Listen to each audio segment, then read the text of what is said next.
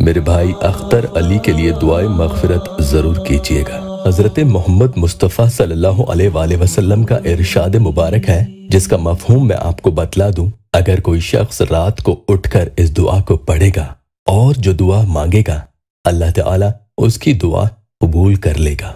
जब हज़रत मूसा सलाम ने अपने रब से कलाम किया तो चालीस दिन तक ठहरे रहे। उसके बाद कोई भी उनके चेहरे को देख नहीं सकता था। इसीलिए हज़रत मूसा सलाम अपने चेहरे को छुपाए रखते थे हती कि उनकी बीवी भी उनके चेहरे को देखने के लिए तरसती थी और वो उन्हें देखने नहीं देते थे। इसलिए उनकी आँखों में वो हुस्न और नूर आ गया था कि उस तजल्ली को देखने के बाद देखने वाला उनके हुस्न की ताप न लाकर अपनी जान से हाथ धो बैठता था, जिसने परवरदिगार के हुस्न और जमाल को सत्तर हज़ार पर्दों में देखा। उसके चेहरे का हुस्न इतना बढ़ गया कि मखलूक उसका भी दीदार करने की सहार नहीं रखती थी। हज़रत उबादा बिन सामत ने बयान किया है कि नबी करीम सल्लल्लाहु अलैहि वसल्लम ने इरशाद फरमाया, जो शख्स रात को बेदार होकर ये दुआ पढ़े, ला इलाहा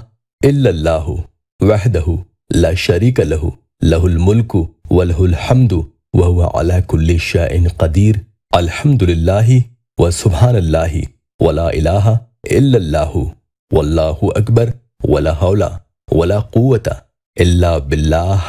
फिर ये पढ़े अल्लाहुम्मगफिरली या ये कहा कि कोई दुआ करे तो उसकी दुआ कबूल होती है। फिर अगर उसने वज़ू किया और नमाज़ पढ़ी तो नमाज़ भी मकबूल होती है। रात को जब आपकी आँख खुले तो आप वज़ू बनाने के बाद बेहतर होगा कि दो रकात नमाज़ भी आप अदा करें और उसके बाद इस दुआ को एक मरतबा ज़रूर पढ़ें और उसके बाद अल्लाह मगफिरली पढ़ें और फिर दोनों हाथ उठाकर अपनी दुआ के लिए अल्लाह से मिन्नतें करें।